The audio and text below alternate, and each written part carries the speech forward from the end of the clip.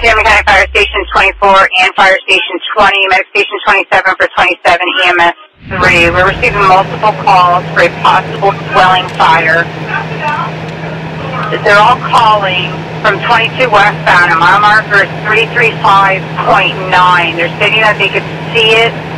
It looks like it's south off of the highway, and they're all stating it's a dwelling fire. Communications will be on TAC 30 on 16 hours. Santa County Fire Station 20. One call, one call only with a possible address. 673 North 13th Street, across the Bushkill Drive in the city of Easton. Communications will be on TAC 30 on 17 hours. County all units. I'm now receiving another notification of North 11th Street in the alley near the cemetery. North 11th in the alley in the cemetery. I do not know if this is two separate incidents or one. Uh, per police, police are saying it's near the cemetery. Hydrant at 11th and Jackson, 0121 hours.